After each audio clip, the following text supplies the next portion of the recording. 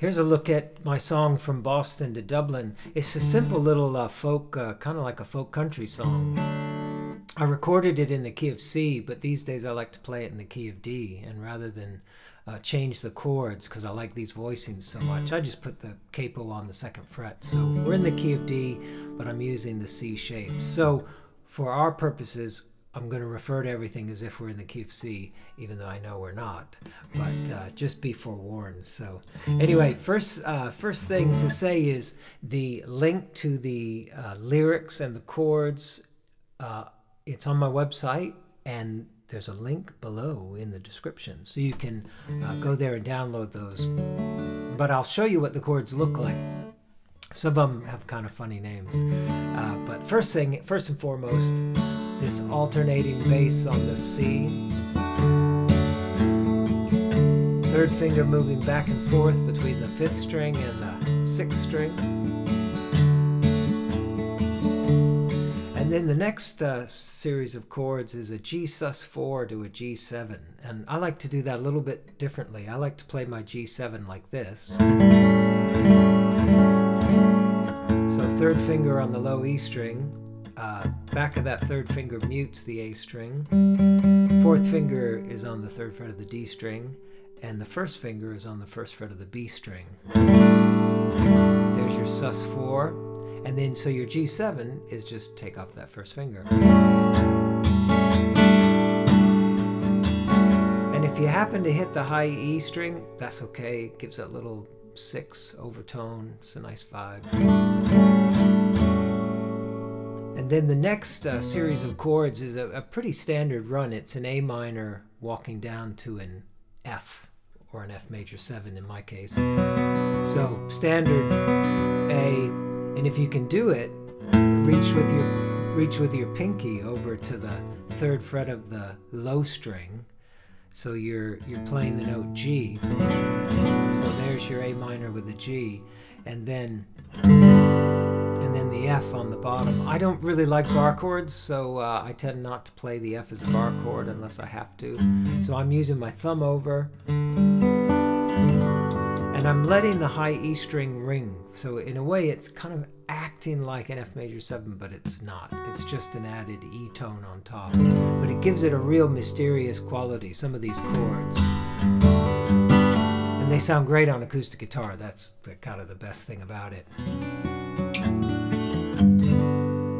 And I think that's about it for the song. I'll walk you through a verse, all right? So here we go. I'll talk you through it. C,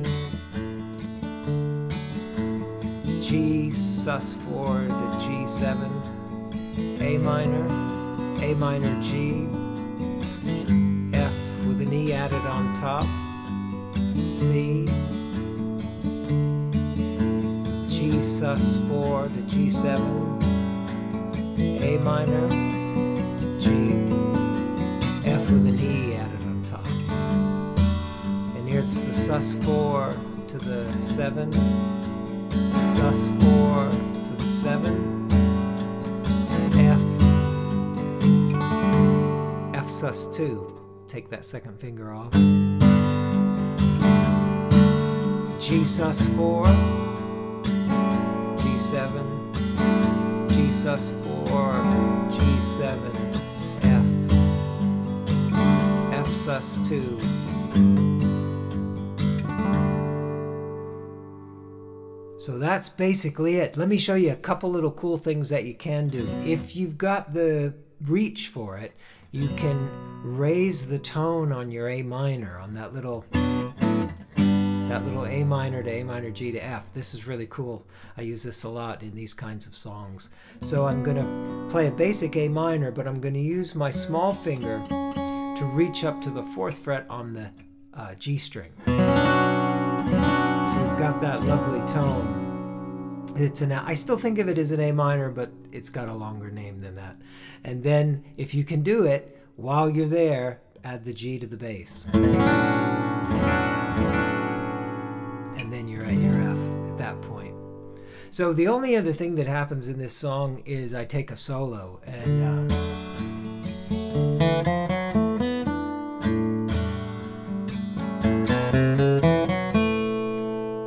set up the solo, it's sort of an anti-solo. It's an anti-solo, really.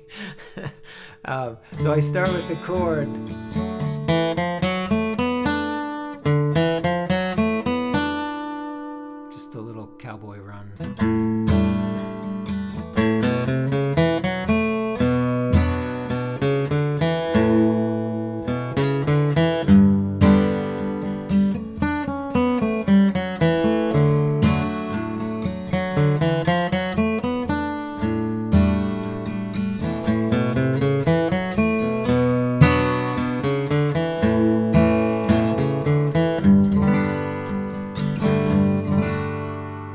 So that gives you some things to uh, play with and uh, try out.